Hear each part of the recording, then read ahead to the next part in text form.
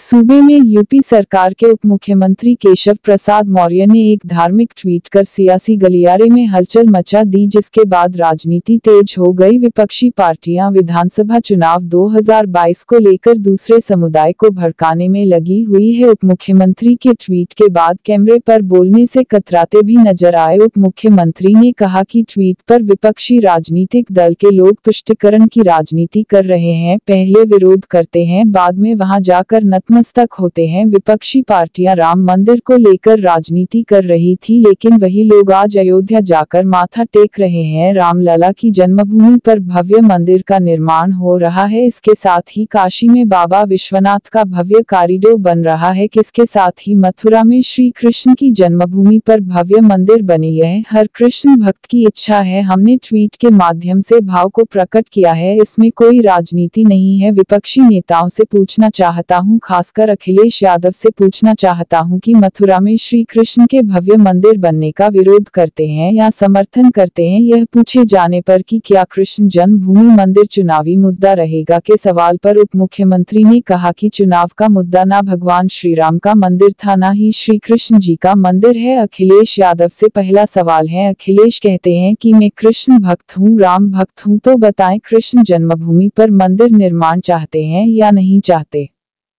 देखिए, ऐसा विपक्ष के जो भी राजनीतिक दल हैं, जो मुस्लिम तुष्टिकरण की राजनीति करते हैं और बाद में वह नतमस्तक होते हैं, मैं स्पष्ट तौर से कहना चाहता हूँ कि श्री रामलला की जन्मभूमि पर भव्य मंदिर निर्माण हो रहा है।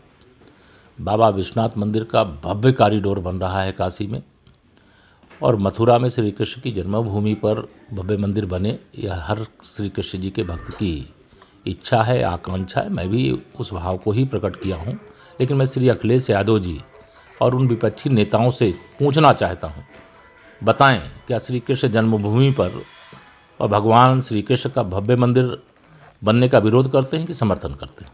2022 को लेकर के क्या इस बार भगवान कृष्ण को लेकर के चुनाव देखिए चुनाव का मुद्दा ना श्री राम जन्मभूमि का मंदिर है, ना बाबा विश्वनाथ जी के मंदिर का विषय है, ना श्री कृष्ण जन्मभूमि मंदिर का विषय है।